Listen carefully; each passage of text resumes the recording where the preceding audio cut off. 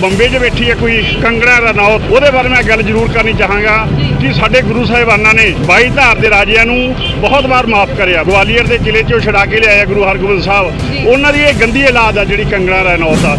ਤੇ ਕੰਗਣਾ ਰਣੌਤ ਨੂੰ ਪੰਜਾਬ 'ਚ ਵੜ ਕੇ ਦਿਖਾ ਦੇ ਕੇ ਕਦੇ ਵਾਪਸ ਨਹੀਂ ਜਾਊਗੀ। ਇਹ ਲੜਾਈ ਕਿਸੇ ਇਕੱਲੇ ਕਿਸਾਨ ਦੀ ਨਹੀਂ। ਇਹ ਇੱਕ ਲੜਾਈ ਸਾਡੇ ਮੂਰੇ ਤੇ ਰੋਟੀ ਵਾਲੀ ਥਾਲੀ ਚੱਕਣ ਵਾਲੀ ਲੜਾਈ ਹੈ। ਅਸੀਂ ਧੰਨਵਾਦ ਕਰਦੇ ਹਾਂ ਮੋਦੀ ਦੇ ਸਾਨੂੰ ਜਗਾਤ ਆਏ ਨੇ। ਵੀ ਇਸ ਕਰਕੇ ਜਗਾਤ ਆ ਕਿ ਸਾਡੇ ਜਿਹੜੇ ਪੰਜਾਬ ਦੇ ਕਿਸਾਨ ਨੇ ਪੰਜਾਬ ਦੀ ਨੌਜਵਾਨੀ ਹੈ ਜਿਨ੍ਹਾਂ ਨੂੰ ਆਖਦੇ ਸੀ ਨਸ਼ਈ ਨੇ। ਪਰ ਉਹਨਾਂ ਨੇ ਦੱਸਤਾ ਵੀ ਨਸ਼ਈ ਨਹੀਂ। ਅਸੀਂ ਤੇਰੀ ਧੌਣ ਤੇ ਗੋਡਾ ਰੱਖ ਕੇ ਦਿੱਲੀ ਨੂੰ ਇਉਂ ਪੀੜ ਲਾਗੇ ਜਿਵੇਂ ਸਾਡੇ ਬਾਬਾ ਬਘੇਲ ਸਿੰਘ ਨੇ ਦਿੱਲੀ ਤੇ ਫਤਿਹ ਕਰੀ ਸੀ। ਜੋ ਅਨਾਜ ਅਸੀਂ ਖੇਤਾਂ 'ਚ ਪੈਦਾ ਕਰਦੇ ਆਂ ਉਹੀ ਸਾਰਾ ਸੰਸਾਰ ਖਾ ਰਿਹਾ ਕਿਸੇ ਦੇ ਗੋਡੇ ਦੁੱਖ ਰਿਹਾ ਕਈਆਂ ਦੇ ਪੈਰ ਛਾਲੇ ਆ ਕਈਆਂ ਦੇ ਮੂੰਹ ਛਾਲੇ ਆ ਕਿਸੇ ਮਤਲਬ ਹਰੇਕ ਤਰ੍ਹਾਂ ਦੀ ਆਪਾਂ ਸਹੂਲਤ ਲੈ ਕੇ ਆਏ ਹੋਏ ਹਾਂ। ਇੱਕ ਮਾਂ ਜਨਮ ਦਿੰਦੀ ਹੈ ਦੂਈ ਅਨਾਜ ਦਿੰਦੀ ਹੈ। ਧਰਤੀ ਮਾਤਾ ਰਿਜ਼ਕ ਦੀ ਦਾਤਾ ਸਾਰੇ ਦੁਨੀਆ ਦੇ ਪੇਟ ਵਿੱਚ ਜਿਹਨੇ ਦਾਣਾ ਦਾਣਾ ਪਾਤਾ। ਅਸੀਂ ਤਾਂ ਦੋ ਦੋ ਕਨਾਲਾਂ ਨਾਲ ਢਿੱਡ ਭਰ ਲਈਏ। ਬਾਕੀ ਨਾ ਜਿਹੜੇ ਜ਼ਮੀਨ ਅਸੀਂ ਕਣਕ ਬੀਜਦੇ ਆ ਉਹ ਸੰਸਾਰ ਵਾਸਤੇ ਬੀਜਦੇ ਆ ਜਿਹੜੇ ਚਾਵਲ ਬਾਸਮਤੀ ਦੇ ਖਾਂਦੇ ਆ ਮਿਰਚਾਂ ਰੱਖ ਕੇ ਉਹ ਸਾਡੇ ਖੇਤਾਂ 'ਚ ਪੈਦਾ ਹੁੰਦੇ ਆ ਸੋ ਤੁਸੀਂ ਦੇਖ ਰਹੇ ਹੋ, ਅਗਰ ਅਸੀਂ ਤਾਜ਼ਾ ਇੱਥੋਂ ਦੀ ਤੁਹਾਨੂੰ ਦਿਖਾ ਰਹੇ ਹਾਂ, ਦ੍ਰਿਸ਼ ਆਪਣੇ ਨਿਰਪੱਖ ਪੋਸਟ ਦੇ ਜ਼ਰੀਏ ਕਿ ਇੱਥੇ ਲੰਗਰ ਲੱਗੇ ਹੋਏ ਹਨ, ਸਮੋਸੇ, ਚਾਹ, ਹਰ ਤਰ੍ਹਾਂ ਦਾ ਲੰਗਰ ਜੋ ਹੈ ਇੱਥੇ ਤੁਸੀਂ ਦੇਖ ਰਹੇ ਹੋ ਕਿ ਉਪਲਬਧ ਕਰਵਾਇਆ ਗਿਆ ਹੈ। ਇੱਥੇ ਜਿੰਨੇ ਅੰਦੋਲਨ ਵਿੱਚ ਸ਼ਾਮਲ ਹੋਏ ਹਨ ਉਹਨਾਂ ਸਭ ਦੇ ਲਈ ਇੱਥੇ ਬਜ਼ੁਰਗ ਵੀ ਸਾਡੇ ਨਾਲ ਮੌਜੂਦ ਹਨ, ਇਹਨਾਂ ਨਾਲ ਗੱਲ ਕਰਦੇ ਹਾਂ। ਹਾਂਜੀ, ਕੀ ਕਹਿਣਾ ਚਾਹੋਗੇ ਜੀ? ਕਿਸੇ ਵੀ ਸਿੱਟੇ ਤੇ ਹਲੇ ਜੋ ਹੈ ਕੇਂਦਰ ਸਰਕਾਰ ਨਹੀਂ ਪਹੁੰਚ ਰਹੀ। ਕਿਉਂ? ਕੇਂਦਰ ਸਰਕਾਰ ਸਿੱਟੇ ਤੇ ਪਹੁੰਚਣਾ ਪੈਣਾ ਇਹ ਸਾਰੇ ਕਿਸਾਨ ਜਥੇਬੰਦੀਆਂ ਇੱਕ ਹੋ ਚੁੱਕੀਆਂ ਹਨ। ਹਰਿਆਣਾ ਯੂਪੀ ਬਿਹਾਰ ਸਾਰੀਆਂ ਕਿਸਾਨ ਜਥੇਬੰਦੀਆਂ ਜਿੰਨੀਆਂ ਵੀ ਇੱਕ ਜੁੱਟ ਹੋ ਕੇ ਲੜਾਈ ਲੜ ਲੈਣੀਆਂ ਇਹ ਲੜਾਈ ਕਿਸੇ ਇਕੱਲੇ ਕਿਸਾਨ ਦੀ ਨਹੀਂ। ਇਹ ਇੱਕ ਲੜਾਈ ਸਾਡੇ ਮੂਰੇ ਤੇ ਰੋਟੀ ਵਾਲੀ ਥਾਲੀ ਚੱਕਣ ਵਾਲੀ ਲੜਾਈ ਹੈ। ਜੋ ਅਨਾਜ ਅਸੀਂ ਖੇਤਾਂ 'ਚ ਪੈਦਾ ਕਰਦੇ ਆਂ ਉਹੀ ਸਾਰਾ ਸੰਸਾਰ ਖਾ ਰਿਹਾ। ਅੱਜ ਉਸ ਅਨਾਜ ਨੂੰ ਇਹ ਸਾਤੇ ਖੋ ਰਹੇ ਹਨ। ਇਹਨਾਂ ਨੂੰ ਇਹ ਪਤਾ ਨਹੀਂ ਕਿ ਇਹ ਜੋ ਤਿੰਨ ਸਾਡੇ ਵਾਸਤੇ ਆਰਡੀਨੈਂਸ ਲਿਆਂਦੇ ਆ ਸਾਡੇ ਵਾਸਤੇ ਬਹੁਤ ਖਤਰੇ ਦੇ ਬਿਲਕੁਲ। ਕਾਨੂੰਨ ਹਨ। ਜੀ ਜੀ ਜੀ। ਜੇ ਇਹ ਕਾਨੂੰਨ ਬਣ ਗਏ ਤਾਂ ਸਾਡੀ ਜੋ ਜ਼ਮੀਨ ਹੈ ਉਹ ਮਾਂ ਦੇ ਬਰੋਬਰ ਹੈ। ਇੱਕ ਮਾਂ ਜਨਮ ਦਿੰਦੀ ਹੈ ਦੂਈ ਅਨਾਜ ਦਿੰਦੀ ਹੈ। ਧਰਤੀ ਮਾਤਾ ਰਿਜ਼ਕ ਦੀ ਦਾਤਾ ਸਾਰੇ ਦੁਨੀਆ ਦੇ ਪੇਟ ਵਿੱਚ ਜਿਹਨੇ ਦਾਣਾ ਦਾਣਾ ਪਾਤਾ ਇਸ ਲਈ ਕਰਕੇ ਇਹ ਮੈਂ ਬੇਨਤੀ ਕਰਦਾ ਕਿ ਜਲਦੀ ਤੋਂ ਜਲਦੀ ਇਹ ਸੰਘਰਸ਼ ਹੈ ਜੋ ਮੋਦੀ ਨੂੰ ਖਤਮ ਕਰਨਾ ਚਾਹੀਦਾ ਹੈ ਨਹੀਂ ਪਿੱਛੇ। ਦੇ ਫਿਰ- ਪਿੱਛੇ ਦੇ ਬਹੁਤ ਆ ਰਹੀ ਹੈ ਸੰਗਤ। ਬਹੁਤ ਮਾੜਾ ਕੰਮ ਹੋਊਗਾ ਜੀ ਬਾਅਦ। ਹਰ ਇੱਕ ਬਿਲਕੁਲ, ਮਸਲਾ ਬਿਲਕੁਲ। ਜਿਹੜਾ ਇਹ ਹਰ ਇੱਕ ਮਸਲਾ ਲੜਾਈ ਨਹੀਂ ਹੁੰਦੀ ਸ਼ਾਂਤਮਈ ਨਾਲ ਸਰਕਾਰਾਂ ਨੂੰ ਜਿੱਕਣਾ ਅਸੀਂ ਵੋਟਾਂ ਪਾਉਨੇ ਆ ਉਕਣਾ ਪਿਆਰ ਨਾਲ ਅਸੀਂ ਮੂਰੇ ਇਹਨਾਂ ਨੂੰ ਚੁਣਿਆ ਲੀਡਰ ਕਿਸ ਨੂੰ ਚੁਣਿਆ ਜਾਂਦਾ ਹੈ? ਜਿਹੜਾ ਉਹ ਚੰਗੇ ਕੰਮ ਕਰੇ ਅੱਜ ਕਿਸਾਨ ਅੰਨਦਾਤਾ ਖੇਤਾਂ ਵਿੱਚ ਇੱਥੇ ਰੁਲ ਰਿਹਾ ਸੜਕਾਂ ਤੇ ਘਰਾਂ ਸਾਡੇ ਕੱਲੇ ਕੱਲੇ ਮੈਂਬਰ ਆ ਅਸੀਂ, ਚਾਰ ਚਾਰ ਕਿੱਲੇ ਜ਼ਮੀਨ ਦੇ ਆ ਸਾਡੇ ਕੋਲ। ਅਸੀਂ ਬਹੁਤ ਬੜੇ ਰਾਜੇ ਨਹੀਂ ਹੈਗੇ। ਅਸੀਂ ਤਾਂ ਦੋ ਦੋ ਕਨਾਲਾਂ ਨਾਲ ਢਿੱਡ ਭਰ ਲਈਏ। ਬਾਕੀ ਨਾ ਜਿਹੜੇ ਜ਼ਮੀਨ ਅਸੀਂ ਕਣਕ ਬੀਜਦੇ ਆ, ਉਹ ਸੰਸਾਰ ਵਾਸਤੇ ਬੀਜਦੇ ਆ। ਜਿਹੜੇ ਚਾਵਲ ਬਾਸਮਤੀ ਦੇ ਖਾਂਦੇ ਆ ਮਿਰਚਾਂ ਰੱਖ ਕੇ ਉਹ ਸਾਡੇ ਖੇਤਾਂ 'ਚ ਪੈਦਾ ਹੁੰਦੇ ਆ। ਜੀ ਬਿਲਕੁਲ ਸਹੀ ਕਿਹਾ ਤੁਸੀਂ ਜਿਵੇਂ ਕਿ ਅਸੀਂ ਸਾਰੇ ਬਿਲਕੁਲ ਜਾਣਦੇ ਹਾਂ ਕਿ ਮੱਧ ਪ੍ਰਦੇਸ਼ ਤੋਂ ਵੀ ਕਿਸਾਨ ਜੋ ਹੈ ਜਥੇਬੰਦੀਆਂ ਆ ਰਹੀਆਂ ਦਿੱਲੀ ਵੱਲ ਆ ਰਹੀਆਂ ਸਨ ਤੇ ਉਹਨਾਂ ਨੂੰ ਰਸਤੇ ਵਿੱਚ ਜੋ ਹੈ ਪਲਵਲ ਵਿੱਚ ਰੋਕ ਦਿੱਤਾ ਗਿਆ ਉਹਨਾਂ ਨੂੰ ਅੱਗੇ ਨਹੀਂ ਵਧਣ ਦਿੱਤਾ ਜਾ ਰਿਹਾ। ਸੋ ਉਹਨਾਂ ਨੇ ਉੱਥੇ ਹੀ ਜੋ ਹੈ ਆਪਣਾ ਮੋਰਚੇ ਲਗਾਏ ਹੋਏ ਨੇ ਉੱਥੇ ਡਟੀਆਂ ਹੋਈਆਂ ਹਨ। ਕਿਸਾਨ ਜਥੇਬੰਦੀਆਂ ਜੋ ਪੂਰੇ ਦੇਸ਼ ਵਿੱਚ ਹੁਣ ਇੱਕ ਹੋ ਰਹੀਆਂ ਹਨ ਤੇ ਕਿਤੇ ਨਾ ਕਿਤੇ ਉਹਨਾਂ ਨੂੰ ਰਸਤਿਆਂ ਵਿੱਚ ਇਸ ਲਈ ਰੋਕਿਆ ਜਾ ਰਿਹਾ। ਪਰ ਇਹ ਜੋ ਤੁਸੀਂ ਦੇਖ ਰਹੇ ਹੋ ਇੱਥੇ ਜੋ ਜਜ਼ਬਾ ਦੇਖ ਰਹੇ ਹੋ ਹਰੇਕ ਇਨਸਾਨ ਦੇ ਵਿੱਚ ਇੱਕ ਇੱਕ ਕਿਉਂਕਿ ਸਿਰਫ ਕਿਸਾਨ ਹੀ ਨਹੀਂ, ਹੁਣ ਬਾਕੀ ਆਮ ਲੋਕ ਵੀ ਇੱਥੇ ਜੋ ਹੈ, ਇਹਨਾਂ ਦੀ ਹਮਾਇਤ ਵਿੱਚ ਆ ਰਹੇ ਹਨ, ਜੁੜ ਰਹੇ ਹਨ। ਸੋ ਇਸ ਜਜ਼ਬੇ ਅੱਗੇ ਕੇਂਦਰ ਸਰਕਾਰ ਹੁਣ ਕਿਵੇਂ ਫੈਸਲਾ ਕਰੇਗੀ? ਕਿਵੇਂ ਕਿਸਾਨਾਂ ਦੇ ਜੋ ਇੱਕੋ ਇੱਕ ਗੱਲ ਹੈ ਕਿ ਕਾਨੂੰਨ ਜੋ ਹੈ, ਕਾਲੇ ਕਾਨੂੰਨ ਨੇ ਵਾਪਸ ਲਏ ਜਾਣ, ਉਸ ਤੋਂ ਇਲਾਵਾ ਕਿਤੇ ਵੀ ਜੋ ਹੈ ਸਮਝੌਤਾ ਨਹੀਂ ਕੀਤਾ ਜਾਵੇਗਾ। ਬਣੇ ਰਹੋ ਜੀ, ਨਿਰਪੱਖ ਪੋਸਟ ਦੇ ਨਾਲ। ਮੈਂ ਮਾਸਟਰ ਜਸਵੰਤ ਸਿੰਘ, ਜਿਹੜਾ ਕਿਸਾਨ ਅੰਦੋਲਨ ਚੱਲ ਰਿਹਾ ਪਹਿਲਾਂ ਮੇਰਾ ਬੇਟਾ ਆਇਆ ਹੁਣ ਪਿਓ ਦੀ ਵਾਰੀ ਆ। ਕਿ ਸਾਡੇ ਅਸੀਂ ਧੰਨਵਾਦ ਕਰਦੇ ਹਾਂ ਮੋਦੀ ਦੇ ਸਾਨੂੰ ਜਗਾਤ ਆਏ ਨੇ।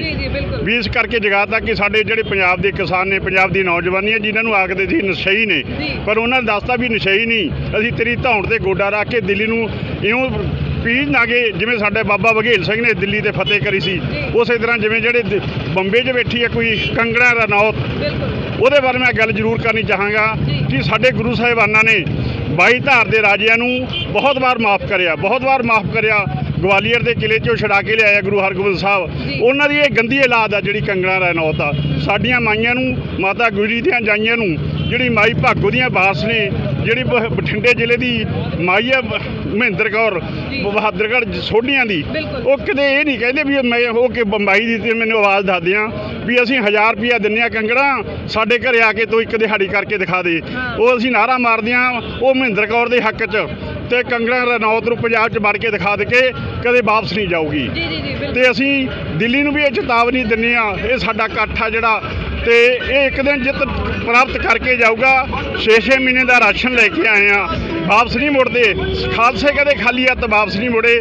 ਦਿੱਲੀ ਦੇ ਤਾਕਤ ਨੂੰ ਹਿਲਾ ਕੇ ਜਾਵਾਂਗੇ ਜਿੱਤ ਪ੍ਰਾਪਤ ਕਰਕੇ ਜਾਵਾਂਗੇ। ਜੀ ਜੀ ਜੀ ਬਿਲਕੁਲ ਬਿਲਕੁਲ। ਤੇ ਇਹ ਗੱਲ ਬਿਲਕੁਲ ਸਹੀ ਹੈ ਕਿ ਜਿਸ ਸੋ ਜਿੱਤ ਦੇ ਨਾਰੇ ਇੱਥੇ ਲਗਾਤਾਰ ਜੋ ਲਗਾਏ ਜਾ ਰਹੇ ਨੇ ਤੁਸੀਂ ਲਗਾਤਾਰ ਦੇਖ ਰਹੇ ਹੋ ਕੰਗਨਾ ਰਣੌਤ ਬਾਰੇ ਹਮੇਸ਼ਾ ਹੁਣ ਇਹ ਗੱਲ ਇੱਕ ਸਲਾਹ ਨੂੰ ਆਉਂਦੀ ਹੈ ਕਿ ਜਿਸ ਮਾਮਲੇ ਬਾਰੇ ਪਤਾ ਨਾ ਹੋਵੇ ਉੱਥੇ ਟੰਗ ਨਹੀਂ ਅਡਾਣੀ ਚਾਹੀਦੀ।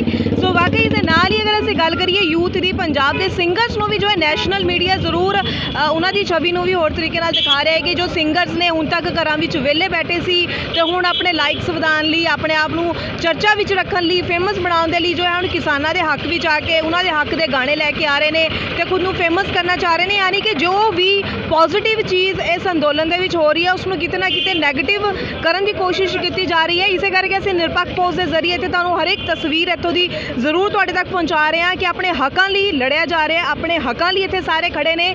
ਇੱਕੋ ਇੱਕ ਆਵਾਜ਼ ਹੈ ਕਿ ਇਹ ਜੋ ਕਾਨੂੰਨ ਲੈ ਕੇ ਆਂਦੇ ਗਏ ਨੇ ਇਹ ਕਾਲੇ ਕਾਨੂੰਨ ਇਹ ਵਾਪਸ ਲਏ ਜਾ ਸੋ ਹਰ ਤਰ੍ਹਾਂ ਦੀ ਮੈਡੀਕਲ ਸੇਵਾ ਵੀ ਇੱਥੇ ਉਪਲਬਧ ਕਰਵਾਈ ਜਾ ਰਹੀ ਹੈ ਕਿ ਜਿੰਨੇ ਵੀ ਇੱਥੇ ਕਿਉਂਕਿ ਬਜ਼ੁਰਗ ਵੀ ਹਨ ਹਰ ਤਰ੍ਹਾਂ ਦੇ ਇੱਥੇ ਹਰ ਵਰਗ ਦੇ ਇੱਥੇ ਮੌਜੂਦ ਹਨ ਤੇ ਕਿਸੇ ਨੂੰ ਕੋਈ ਸੱਟ ਲੱਗ ਜੇ ਜਾਂ ਕੁਝ ਹੋਵੇ ਤਾਂ ਦਿੱਕਤ ਨਾ ਹੋਵੇ।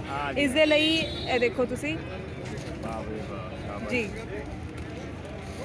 ਇਹ ਕੀ ਨਾਮ ਹੈ ਜੀ ਆਪਣੀ ਆਪਣੀ ਸੁਸਾਇਟੀ ਦਾ ਆਪਣੀ ਜਥੇਬੰਦੀ ਦਾ? ਕਿਹੜਾ ਹਸਪਤਾਲ ਹੁਸ਼ਿਆਰਪੁਰ ਜੀ। ਅੱਛਾ ਜੀ ਠੀਕ ਹੈ ਜੀ।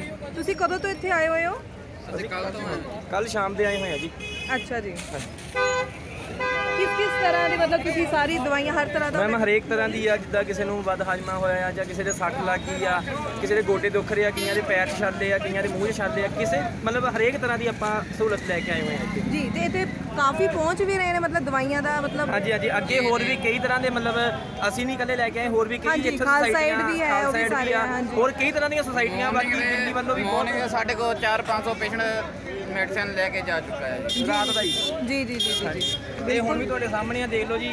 ਆ 20 25 ਪੱਟੀਆਂ ਤਾਂ ਮੈਂ ਪਹਿਲਾਂ ਕਰ ਚੁੱਕੀ ਆ ਜੀ ਜੀ, ਆ ਹੁਣ ਜੀ। ਬਾਪੂ ਜੀ ਆਏ ਆ ਬਾਕੀ ਹੋਰ ਸਾਰਾ ਦਿਨ ਲਾਵਾਂਗੇ ਰਾਤ ਦੇ 12 ਵਜੇ ਤੱਕ ਕੈਂਪ ਬਾਹਰ ਲਾਵਾਂਗੇ ਵੀ ਚੈੱਕ ਕਰ ਰਹੇ ਹਾਂ ਬੀਪੀ ਬੜੇ ਸਾਰਾ ਸਾਰਾ ਬੀਪੀ ਚੈੱਕ ਕਰ ਰਹੇ ਹਾਂ ਜੀ। ਸਾਰੀ ਫੈਸਿਲਿਟੀ ਦੇ ਰਹੇ ਹਾਂ ਬਿਲਕੁਲ ਕਿਉਂਕਿ ਬਜ਼ੁਰਗ ਇੱਥੇ ਮੌਜੂਦ ਹਨ ਸੋ ਬਜ਼ੁਰਗ ਕਿਸੇ ਨੂੰ ਬੀਪੀ ਦੀ ਪ੍ਰੋਬਲਮ ਹੁੰਦੀ ਕਿਸੇ ਨੂੰ ਸ਼ੂਗਰ ਦੀ ਪ੍ਰੋਬਲਮ ਹੁੰਦੀ ਹੈ ਵੇਲੇ ਕੁ ਵੇਲੇ ਕਿਸੇ ਵੀ ਤਰ੍ਹਾਂ ਦੀ ਮੈਡੀਕਲ ਪ੍ਰੋਬਲਮ ਹੋ ਸਕਦੀ ਹੈ। ਇਸ ਕਰਕੇ ਦੇਖੋ ਜੀ ਇੱਥੇ ਇਹ ਵੀ ਸੇਵਾ ਚੱਲਦੀ ਪਈ ਹੈ। ਸੋ ਲਗਾਤਾਰ ਜੋ ਹੈ ਇੱਥੇ ਵੀ ਆ ਦੇਖੋ ਇਹ ਬਜ਼ੁਰਗ ਕਰਵਾ ਰਹੀ ਹੈ ਕੋਈ ਜ਼ਿਆਦਾ ਅੱਛਾ ਜੀ।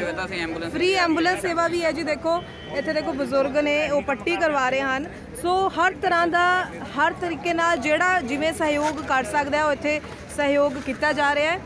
ਸੋ ਬੀਪੀ ਚੈੱਕ ਕੀਤਾ ਜਾਂਦਾ ਅਗਰ ਕਿਸੇ ਨੂੰ ਬੀਪੀ ਦੀ ਪ੍ਰੋਬਲਮ ਹੈ ਦਵਾਈ ਹਰ ਤਰ੍ਹਾਂ ਦੀ ਦਵਾਈ ਇੱਥੇ ਮੌਜੂਦ ਹੈ ਤੁਸੀਂ ਦੇਖ ਲਓ। ਅੰਕਲ ਆ ਲਓ। ਟੇਸਟ ਕਰਨੀ ਹੈ ਇਹਦੇ ਨਾਲ। ਕੋਈ ਵੀ ਕਿਸੇ ਨੂੰ ਤਕਲੀਫ ਹੁੰਦੀ ਹੈ, ਦੰਦ ਦਰਦ ਹੈ, ਸਿਰ ਦਰਦ ਹੈ, ਦੇਖੋ free medical camp and first aid ਤੇ ਬਿਲਕੁਲ ਇੱਥੋਂ ਹੀ ਅਸੀਂ ਅੰਦਾਜ਼ਾ ਲਗਾ ਸਕਦੇ ਹਾਂ ਜੀ, ਜਜ਼ਬਾ ਪੂਰਾ ਹੈ ਪੰਜਾਬੀਆਂ ਦੇ ਵਿੱਚ ਕਿ ਅਸੀਂ ਕਿਸਾਨਾਂ ਦੇ ਨਾਲ ਡਟੇ ਹੋਏ ਹਾਂ। ਕੋਈ ਵੀ ਉਹਨਾਂ ਨੂੰ ਮੁਸ਼ਕਿਲ ਜੋ ਹੈ ਆਏਗੀ ਉਸ ਦੇ ਨਾਲ ਉਸ ਦੇ ਵਿੱਚ ਉਹਨਾਂ ਦੀ ਮਦਦ ਕਰਨ ਲਈ ਨਾ- ਨਾਲ ਖੜੇ ਹੋਏ ਹਨ।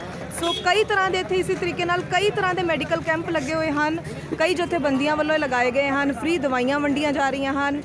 ਤੇ ਬਹੁਤ ਵਧੀਆ ਜੋ ਇਹ ਇੱਕ ਚੀਜ਼ ਹੈ ਕਿ ਨੌਜਵਾਨਾਂ ਵੱਲੋਂ ਇਸ ਤਰੀਕੇ ਦੀ ਸੇਵਾ ਵੀ ਕੀਤੀ ਜਾ ਰਹੀ ਹੈ। ਸੋ ਓਵਰਆਲ ਤੁਸੀਂ ਦੇਖ ਸਕਦੇ ਹੋ, ਕਿਸੇ ਵੀ ਤਰ੍ਹਾਂ ਦੀ ਇੱਥੇ ਕੋਈ ਦਿੱਕਤ ਨਾ ਆਵੇ ਕਿਸਾਨਾਂ ਨੂੰ। ਉਹ ਹਰ ਤਰ੍ਹਾਂ ਦਾ ਇੱਥੇ ਧਿਆਨ ਰੱਖਿਆ ਜਾ ਰਿਹਾ ਹੈ। ਪੰਜਾਬ ਅਤੇ ਪੰਜਾਬੀਅਤ ਨਾਲ ਜੁੜਿਆ ਹਰ ਮੁੱਦਾ, ਹਰ ਖਬਰ ਨਿਰਪੱਖ ਤਰੀਕੇ ਨਾਲ ਤੁਹਾਡੇ ਤੱਕ ਪਹੁੰਚਣ ਦੀ ਕੋਸ਼ਿਸ਼ ਵਿੱਚ ਤੁਸੀਂ ਵੀ ਦੇਵੋ ਸਾਡਾ ਸਾਥ। ਤਾਂ ਹੁਣੇ ਲਾਈਕ ਕਰੋ ਸਾਡਾ ਫੇਸਬੁੱਕ ਪੇਜ ਸਬਸਕ੍ਰਾਈਬ ਕਰੋ YouTube ਤੇ ਅਤੇ ਫੋਲੋ ਕਰੋ ਇੰਸਟਾ ਅਤੇ ਟਵਿੱਟਰ ਤੇ ਨਿਰਪੱਖ ਪੋਸਟ ਖਬਰ ਦੀ ਨਿਰਪੱਖ ਆਵਾਜ਼। ਵਿਜ਼ਿਟ ਕਰੋ www.nirpakhpost.com